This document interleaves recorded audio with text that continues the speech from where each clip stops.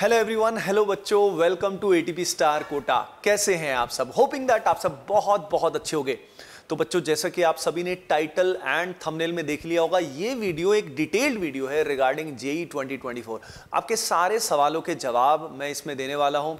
Syllabus completion कब तक करना चाहिए? एग्ज़ाम की पॉसिबल डेट्स क्या क्या हो सकती हैं? रिविजन कैसे करना है? मॉक टेस्ट कितने देने चाहिए? कब से शुरू करना चाहिए? शॉर्ट नोट्स बनाने चाहिए या नहीं बनाने चाहिए? स्कूल के साथ किस तरीके से मैनेज करें? अगर क्लास इलेवन हमारा वेस्ट हुआ है तो हम क्या करें? मोटिवेटेड कैसे रहें? डिस्ट्रैक्शन से कैसे बचें? टाइम टेबल कैसे बनाएँ? आई थिंक इन्हीं सवालों में से कोई ना कोई सवाल आपका ज़रूर होगा, है ना बच्चों?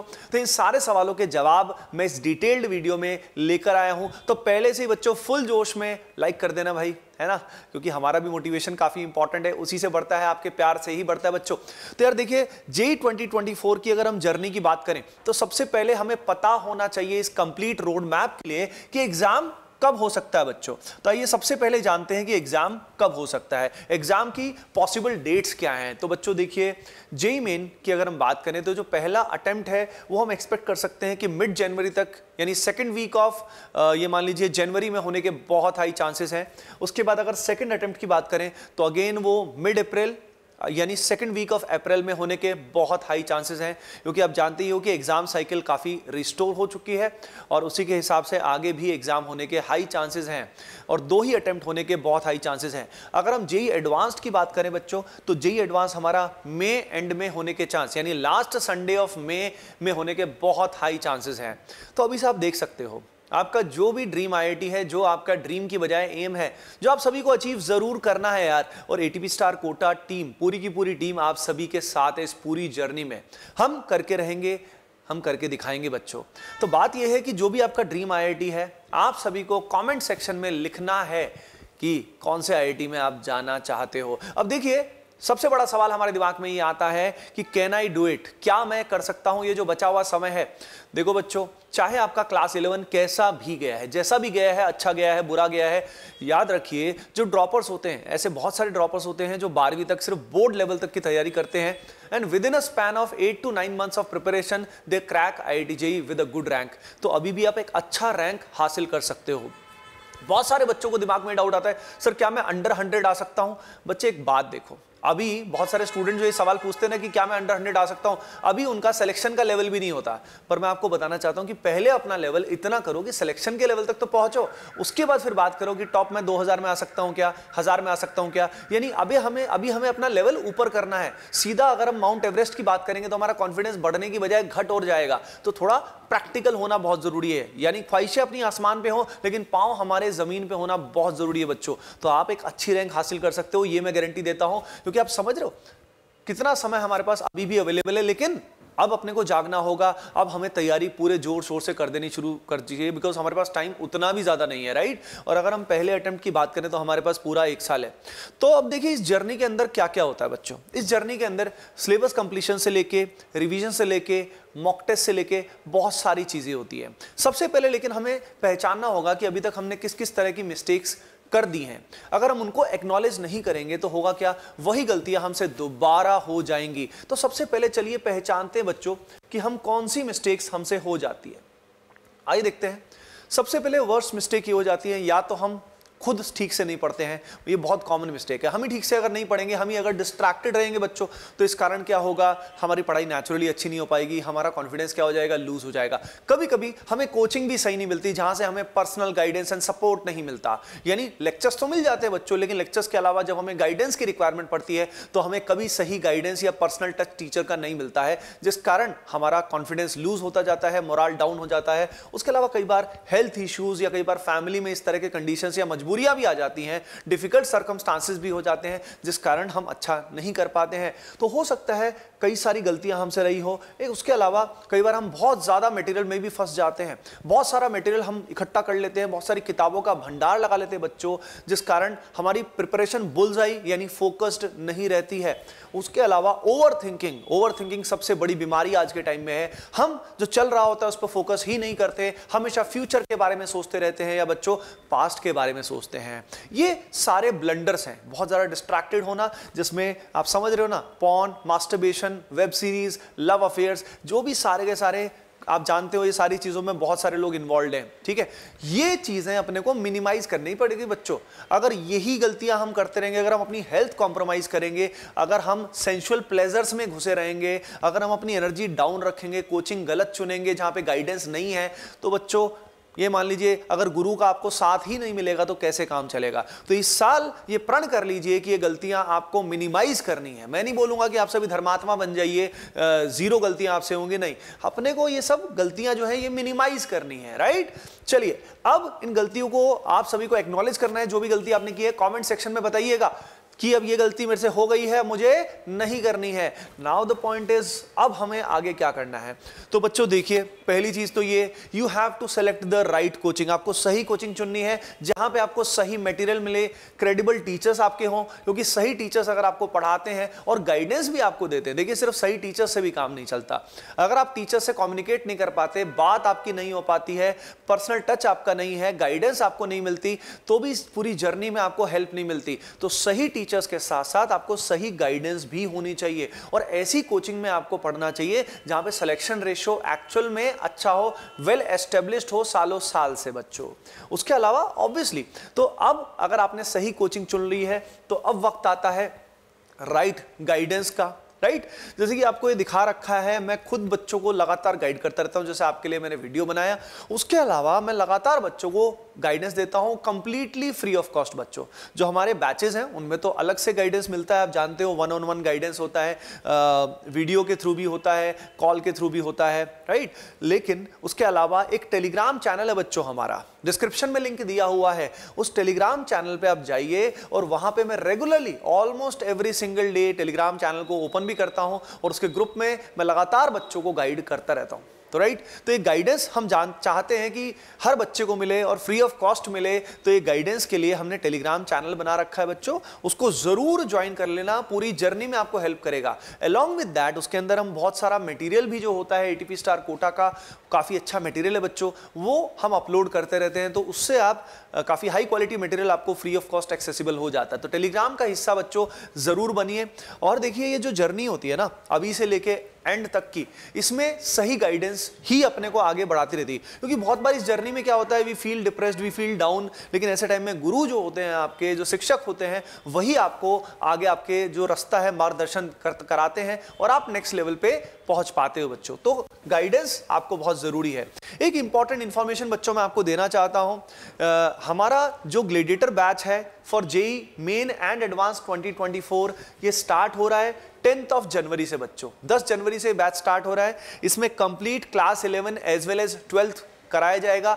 इस पूरे बैच में, पूरे डेढ़ साल के लिए ये मान लीजिए doubt solving as well as personal guidance guidance भी आपको मिलने वाली है। और सबसे खास बात है कि ये बैच बहुत ही अफोर्डेबल हमने रखा है। ओनली सिक्स ट्रिपल नाइन बच्चों। डेढ़ साल का कोर्स है only at this particular fee यानी आप समझ रहे हो highest quality at the most affordable fee ऐसा इंडिया में अब तक कभी भी नहीं हुआ है। कुछ कोर्सेज हैं जो बहुत सस्ते हैं, लेकिन वो नॉर्मली उतने अच्छे नहीं है। वहाँ पे पर्सनल गाइडेंस अवेलेबल नहीं है। प्रॉपर डाउट सॉल्विंग अवेलेबल नहीं है। यहाँ आपको proper doubt solving as well as guidance मिलने वाली है। तो इस बैच में आप जल्द ही एनरोल कर सकते हैं, इसका फ़ायदा उठा सकते हैं।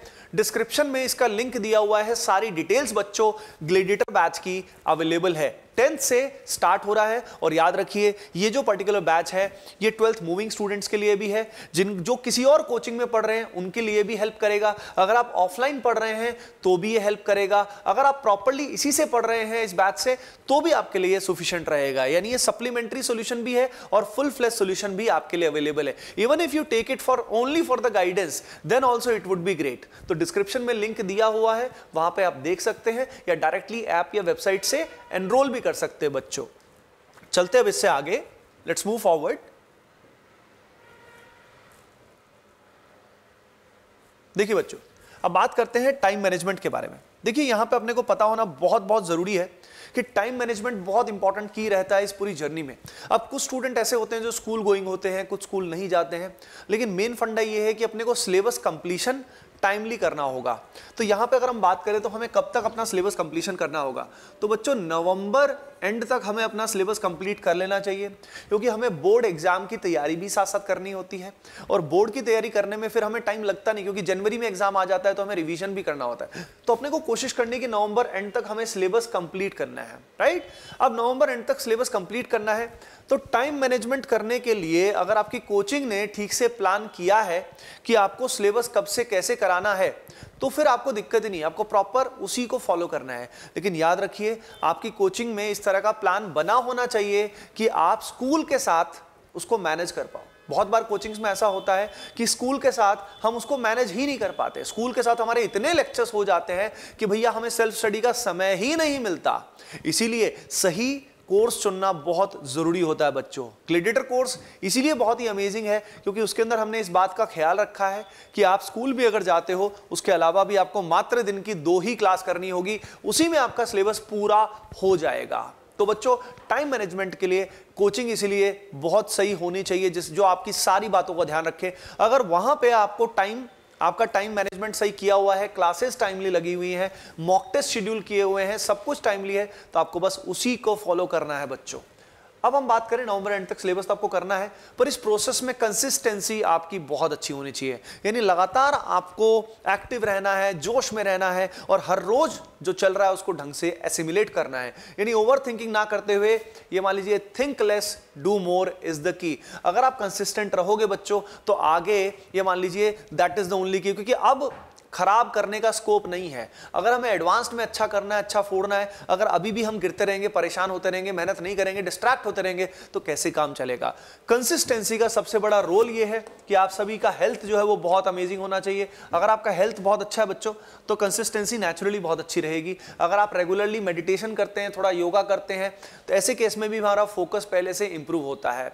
बाकी again the key is think less do more अब जैसे कि मैंने आपको सभी को बताया कि सिलेबस कंप्लीशन आपको क्या करना है? आपको नवंबर एंड तक करना है। अब डाउट ये आता है कि सर हमारा क्लास 11 उतना अच्छा नहीं गया। बैकलॉग कैसे कवर करेंगे? उस सब मैं बताऊँगा, ठीक है? लेकिन क्लास ट्वेल्थ की अगर कोर्स की बात करें सिलेबस की बात करें तो क्लास ट्वेल्थ अगर आप अभी से शुरू कर देते हो अप्रॉक्सीमेटली जितना जल्दी हो सकता है तो आप आराम से नवंबर एंड तक बढ़िया से क्लास ट्वेल्व कर सकते हो। अब बात यह है कि अगर क्लास इलेवन वेस्टेड है तो कैसे सिलेबस कंप्लीट करोगे?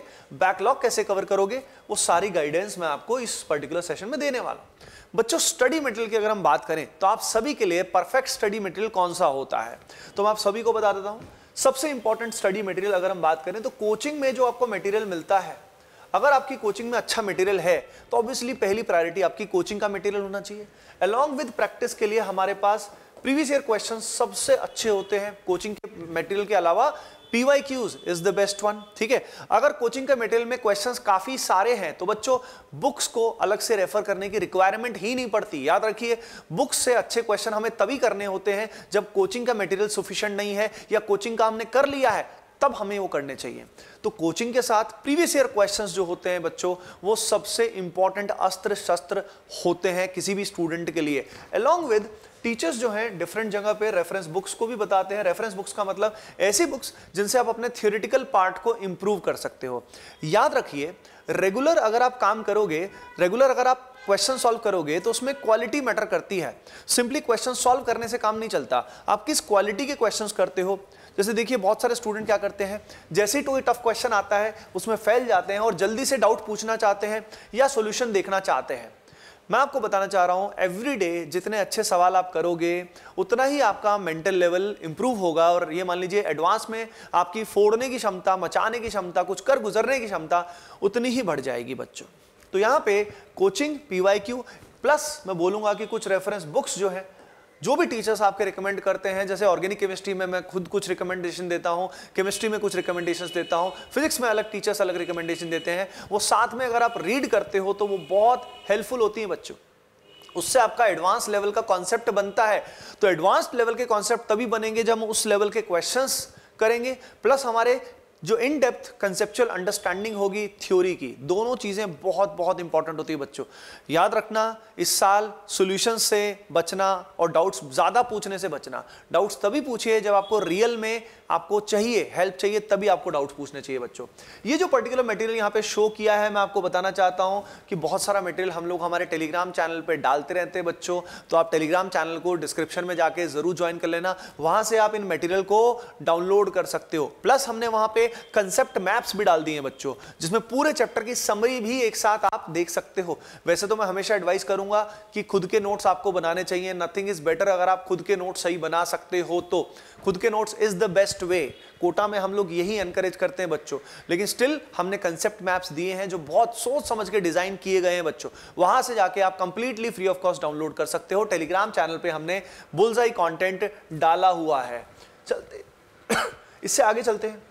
Now the question is how to cover backlog backlog किस तरीके से हमें कवर करना है?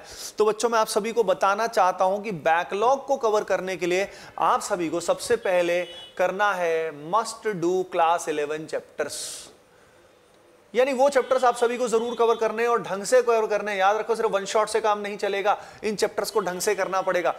वो चैप्टर्स जिनको करने के बाद बारहवीं क्लास में आपको दिक्कत नहीं आएगी। ये लगभग पंद्रह करीब चैप्टर्स हैं। अराउंड फिफ्टीन चैप्टर्स अगर आप कर लेते हो, तभी आपको क्लास ट्वेल्थ स्टार्ट करना चाहिए बच्चों।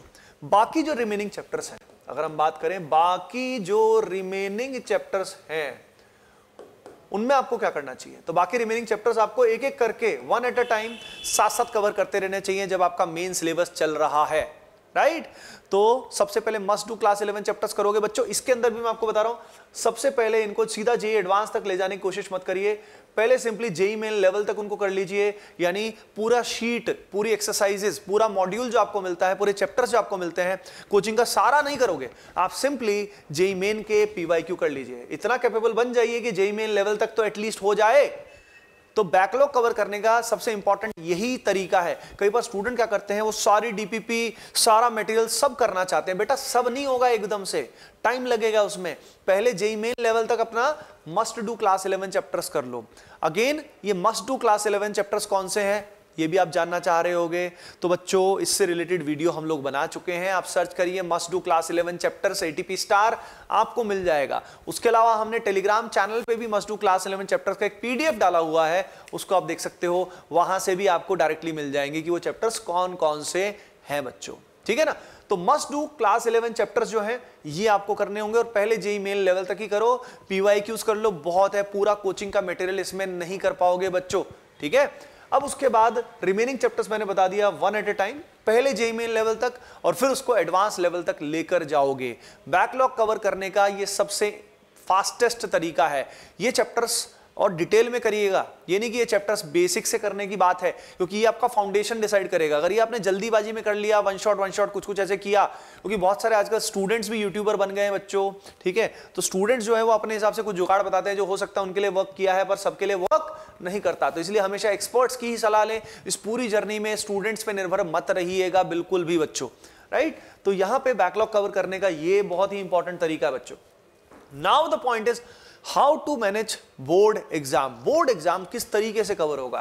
तो यार देखो, पहले तो मैं आप सभी को बताना चाहता हूँ बोर्ड एग्ज़ाम के लिए सबसे इंपॉर्टेंट होता है आंसर राइटिंग यानी राइटिंग इज़ द की ठीक है, जितना लिख लिख कर देखोगे, देखो होता क्या है, जेई की प्रिपरेशन करते करते कई बार हम डमी स्कूल्स में होते हैं और बहुत बार हमारी लिखने की प्रैक्टिस छूट जाती है और फिर बोर्ड एग्ज़ाम में हम फैल जाते हैं। क्योंकि आप जानते हो 75 परसेंट वाला क्राइटेरिया या टॉप 20 परसेंटाइल वाला क्राइटेरिया जो है, वो तो लगना ही है। तो बोर्ड्स बहुत ही इंपॉर्टेंट होता है। तो बोर्ड्स को मैनेज करने के लिए आपको रेगुलरली खास तौर पे मान लीजिए जून, जुलाई के आसपास अगर हम बात करें तो हमें पर्टिकुलरली लिख लिख के प्रैक्टिस करनी चाहिए। उसके अलावा बोर्ड्स के फुल लेंथ मॉक टेस्ट भी देने चाहिए बच्चों। अगर बोर्ड्स के आप फुल लेंथ मॉक टेस्ट दोगे तो ही आपको कॉन्फिडेंस आएगा। नहीं तो बोर्ड्स में एकदम से हम फैल जाएँगे। प्लस मैं बोलना चाहता हूँ कि स्कूल से आपका रिश्ता ठीक ठाक होना चाहिए बच्चों। बहुत बार हम स्कूल से क्या होता है कि रिलेशन अच्छा नहीं होता है ना? कई बार डमी स्कूल होता है खास तौर पे तो हमारे प्रैक्टिकल में मार्क्स कम हो जाते हैं। तो भाई ध्यान रखो कि प्रैक्टिकल में मार्क्स कम आपके नहीं होने चाहिए, क्योंकि उससे डायरेक्टली आपका स्कोर काफ़ी बढ़ जाता है। उसके अलावा बच्चों, जो एडिशनल सब्जेक्ट्स हैं, उनको इतना लाइट मत लेना, नहीं तो एडिशनल सब्जेक्ट्स आपको लाइट ले लेंगे और आपका मार्क्स जो है वो कम हो जाएगा बच्चों। तो एडिशनल सब्जेक्ट्स जो है, उनको भी साथ साथ प्रिपेयर करना है। यानी बोर्ड्स के लिए हमें शुरू से ही थोड़ा ध्यान रखना होगा। जो स्कूल में बच्चे जाते हैं, उनका तो बोर्ड्स ऑटोमेटिकली कवर हो जाएगा। लेकिन याद रखिए it's all about writing more and more answers आपका प्रेजेंटेशन जितना अच्छा रहेगा बोर्ड्स में नेचुरली आपके अच्छे मार्क्स आ जाएँगे। आप जानते हो कि बोर्ड्स में डेरिवेशन वगैरह भी आती है तो इसलिए हमें लिख लिख कर देखना होता है। एक बात मैं बताना चाहता हूँ कि बोर्ड्स की तैयारी जो होती है, वो आपकी जेई की प्रिपरेशन को हैम्पर नहीं करती है। हाँ एडिशनल सब्जेक्ट्स जो होते हैं, उसमें हमारा टाइम एक्स्ट्रा लगता है। अपार्ट फ्रॉम दैट जब हम बोर्ड्स की तैयारी कर रहे होते हैं तो थियोरिटिकल एस्पेक्ट हमारा एनसीईआरटी e वगैरह हम रीड कर सकते हैं, जिससे हमारी बोर्ड्स की प्रिपरेशन भी बच्चों बहुत अच्छी हो जाएगी। साथ साथ जेई के लिए भी तैयारी हमारी अच्छी रहेगी।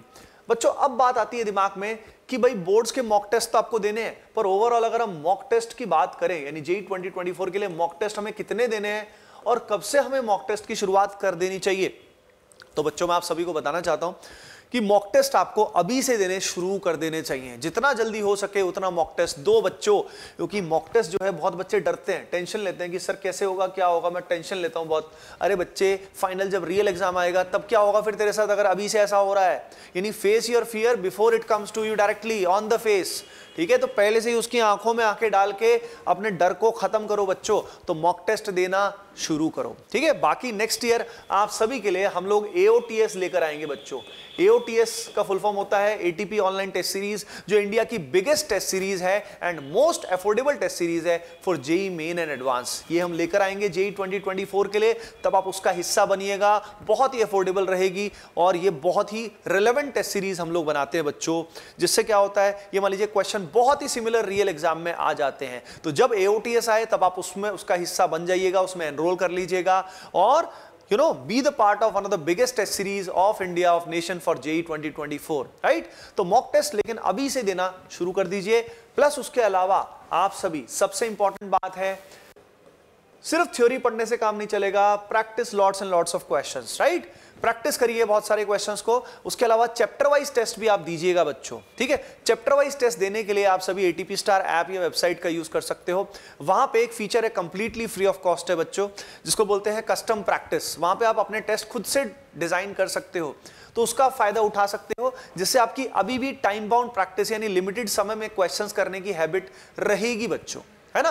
तो यहाँ पे आप सभी समझ चुके हो कि मॉक टेस्ट आपको जितना दोगे, उतना ही आपका कॉन्फिडेंस बढ़ेगा, क्योंकि मॉक टेस्ट सिर्फ़ देने से भी काम नहीं चलता। आपको मॉक टेस्ट के साथ बच्चों, उनको एनालाइज भी करना पड़ता है। इससे आपको पता लगता है कि आप देश भर में कहाँ स्टैंड करते हो। देखो, याद रखिए, एक बात हमेशा कही जाती है कि treat each mock test like the real exam and real exam like the last mock test ठीक है? तो रियल एग्ज़ाम एक तरह से आपका लास्ट मॉक टेस्ट है और हर मॉक टेस्ट आपका रियल एग्ज़ाम की तरह उसको ट्रीट करो टेस्ट को एनालाइज करो और इंप्रूवमेंट करते रहो। बच्चों, एक बात बताओ। अगर आप मॉक टेस्ट में अच्छा कर रहे हो लगातार तो फाइनल एग्ज़ाम में भी अच्छा करोगे कि नहीं करोगे? आप ही बताओ। करोगे ना? तो फाइनल एग्ज़ाम में भी आप अच्छा कर पाओगे, अगर आप मॉक टेस्ट में अच्छा करोगे। जो भी हम तैयारी करेंगे, जो भी हम थ्योरी कवर करेंगे प्रैक्टिस करेंगे, वो सभी के सभी चीज़ें हमारी तभी सेट बैठेंगी बच्चों, जब हम मॉक टेस्ट में फिर अच्छा परफॉर्म करेंगे। है ना? उसका फ़ायदा ही यही है। तो यानी time bound practice and mock test देना बहुत बहुत ज़रूरी होता है। अब बात आती है रिवीजन एंड शॉर्ट नोट्स के बारे में। आइए बात करते हैं रिवीजन एंड शॉर्ट नोट्स देखिए बच्चे, अगर हम रिवीजन की बात करें तो बहुत बार हम क्या करते हैं? आगे बढ़ते जाते हैं और रिवीजन नहीं करते हैं। मैं आपको बता रहा हूँ, एक चैप्टर को ढंग से पढ़ लेने के बाद, ढंग से क्वेश्चन सॉल्व कर लेने के बाद, हम उसको भूलना शुरू करते हैं। भूलने लग जाते हैं तो क्लास नोट्स जो हम बनाते हैं, उससे रिवीजन करने का कई बार हमें टाइम नहीं लगता है, क्योंकि वो लेंदी भी होते हैं।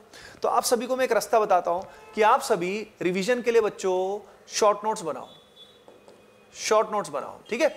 शॉर्ट नोट्स अगर आप खुद से बनाओगे, एक वीडियो वैसे मैंने बना रखा है art of making short notes how to make short notes तो आप सर्च कर सकते हो, आपको मिल जाएगा how to make short notes तो उस वीडियो में मैंने बता भी रखा है शॉर्ट नोट्स किस तरीके से बनाने चाहिए, जिसमें की पॉइंट्स एंड समरी उस चैप्टर की लेनी होती है। जब आप लिख लिख कर देखोगे तो थ्योरी का रिवीजन करते हुए बोर नहीं होगे। पहली चीज़ तो ये। नहीं तो ऐसे देखते रहते हो, पन्ने पलटते पलटते सबसे ज़्यादा क्या आता है अपने को? नींद आ जाती है भाई। तो नींद से बचने के लिए और ढंग से इफ़ेक्टिव रिवीजन करने के लिए शॉर्ट नोट्स बनाओ। दूसरा मॉक टेस्ट से पहले शॉर्ट नोट्स आपके बहुत ही बढ़िया साथी होंगे। ठीक है? ये आपको, ये मान लीजिए आगे बढ़ाएँगे, जब भी मॉक टेस्ट आएगा, उससे पहले खट से रिवाइज कर पाओगे बच्चों। तो रिवीजन का फास्टेस्ट वे जो होता है, वो होता है शॉर्ट नोट्स शॉर्ट नोट्स लेकिन आपको बनाने होंगे, वो शॉर्ट नोट्स बनाते हुए भी रिवीजन होगा प्लस बाद में fastest way to revise is through short notes तो जब भी मौका मिले, चौका मारो, नहीं तो क्या होता है रिवीजन का हम मुहूर्त निकालते रहते हैं और वो शुभ मुहूर्त कभी भी नहीं आता है। ठीक है बच्चों? तो शुभ मुहूर्त आना बहुत बहुत ज़रूरी है, जिसमें आप सभी को क्या करना होगा? रिवीजन के साथ रिवीजन के लिए शॉर्ट नोट्स बनाना होगा। प्लस दूसरी बात मैं आपको बताना चाहता हूँ रिवीजन के लिए आप सभी टाइम बाउंड प्रैक्टिस भी कर सकते हैं। प्रैक्टिस के थ्रू भी रिवीजन कर सकते हैं बच्चों। ठीक है? It's a great way to revise क्योंकि जब क्वेश्चन में हम फंसते हैं और नोट्स को रेफर करते हैं तो भी रिवीजन बहुत ही इफ़ेक्टिव होती है। है ना? तो इन बातों का आप ध्यान रखेंगे। अब नाउ द पॉइंट इज़ इस पूरे प्रोसेस में ओवरऑल विदाउट डिस्ट्रैक्शन रहना और सही माइंडसेट रहना बहुत बहुत ज़रूरी होता है बच्चों। है ना? अब ये सही माइंडसेट रहने के लिए मैं आपको क्लियरली बोलूँगा, आपके लिए एक सही गुरु इनकी बातों को आप सही में फॉलो करते हो, सही में आपको बेनिफिट मिलता है। एक तो वो गुरु सही होना बहुत ज़रूरी है, ठीक है? गाइडेंस सही मिलना बहुत ज़रूरी है। मैंने आपको बताया है टेलीग्राम चैनल पे मैं लगातार बच्चों को गाइड करता रहता हूँ तो उसका हिस्सा बने भाई कंप्लीटली फ्री ऑफ़ कॉस्ट आपके लिए अवेलेबल है। उस फैसिलिटी का सभी स्टूडेंट्स को फ़ायदा उठाना चाहिए। तो डिस्क्रिप्शन में लिंक दिया हुआ है, उसका हिस्सा बने। दूसरा, सही माइंडसेट होने के लिए आप सभी का फ़िज़िकल फिटनेस बहुत ज़रूरी है बच्चों। इसको बहुत ही हम लाइट लेते हैं कई बार की फिटनेस तो क्या ही है। अरे बेटा, अगर आप फिट रहोगे तो हिट रहोगे, है ना? आपका मोटिवेशन रहेगा एनर्जी रहेगी, सारा दिन कुछ करने का मन करेगा, ठीक है? पढ़ाई करने का मन करेगा फोकस रहेगा। दूसरा, आप सभी हाई एनर्जी वाइब्रेशंस में रहिए। यानी टॉक्सिसिटी से अननेसेसरी डिस्कशन से, ऐसी किसी भी चीज़ से जिससे आपका मोराल डाउन होता है मोटिवेशन डाउन होता है, आप उससे दूर हो जाइए। एक बात गाइस स्वामी विवेकानंद ने बोली थी, जो आप सभी को पर्टिकुलर फॉलो करनी है if anything makes you weak rejected as a poison कोई भी चीज़ जो आपको कमज़ोर बनाती है, उसको पॉइजन की तरह बच्चों रिजेक्ट कर दीजिए राइट प्रॉपरली उन्होंने ये बोला था anything which makes you physically mentally emotionally weak किसी भी तरीके से अगर आपको वीक बनाती है reject it as a poison बच्चों, है ना? तो ये बहुत ही स्ट्रांग बात है, इस बात का ध्यान रखिएगा। तो आपको माइंडसेट मेंटेन रखने के लिए अपना एनवायरनमेंट सही होना चाहिए। एक बात बोली जाती है हमेशा कि it's not us it's our environment आपका जैसा एनवायरनमेंट होगा, आपका जो फ्रेंड सर्कल होगा, वो सब, आपके गुरु जो होंगे, जो गाइडेंस मिलेगी, वही सब आपको बना भी सकती है और बिगाड़ भी सकती हैं। मेक श्योर sure कि आपका इन्वायरमेंट सही ज़रूर हो, ताकि इस पूरी जर्नी में आप फोकस्ड रह सके बच्चों, है ना? लेकिन इस पूरी जर्नी में सही कंपेनियन होना बहुत ज़रूरी है। इसलिए मैंने बोला है कि आपकी प्रिपरेशन को नेक्स्ट लेवल पर ले जाने के लिए जो हमारा ग्लिडेटर बैच आ रहा है, वो आपके लिए बहुत हेल्पफुल हो सकता है। चाहे आप किसी कोचिंग में पढ़ रहे हैं, चाहे आप सेल्फ स्टडी कर रहे हैं, चाहे आप इलेवन से ट्वेल्थ मूविंग है और बोर्ड्स की तैयारी कर रहे हैं स्कूल जा रहे हैं, हर तरह के स्टूडेंट के लिए ये ग्लेडिएटर बैच गेम चेंजिंग हो सकता है। डिस्क्रिप्शन में इसकी सारी डिटेल दी हुई है बच्चों।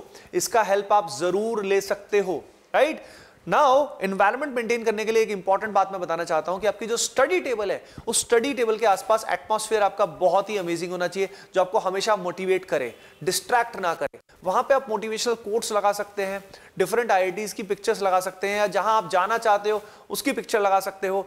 आप अपने गुरुज जो हैं, उनकी पिक्चर्स लगा सकते हो, जो आपको मोटिवेट करते हैं गाइज़ तो जहाँ जहाँ से आपको पॉजिटिविटी मिलती है, अपना और वहीं पे बनाइए। दूसरा नेगेटिव एनर्जी को नेगेटिव चीज़ों को रिजेक्ट कर दीजिए इग्नोर करना सीखिए। हर चीज़ में रिएक्शन नहीं करते। जब हम ये टीनेजर होते ना तो टीनेजर में हम हर चीज़ में रिएक्ट करते हैं बहुत ज़्यादा। हर चीज़ में मेरे को ऐसा क्यों बोला, ये क्यों हुआ?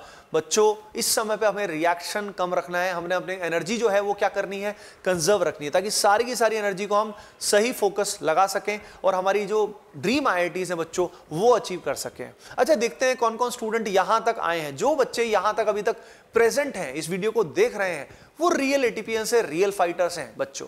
वो जेई 2024 में मचाने वाले हैं। तो कमेंट सेक्शन में जिस भी कॉलेज में आप जाना चाहते हैं, वो ज़रूर बताइए। ये वीडियो पसंद आया है, आपको सेशन पसंद आया है तो लाइक ज़रूर करिए। एंड टेलीग्राम चैनल का हिस्सा अभी के भी बन जाइए डिस्क्रिप्शन में लिंक दिया हुआ है बच्चों। चलो फिर मिलते हैं नेक्स्ट सेशन में। Bye take care guys and keep preparing well love you all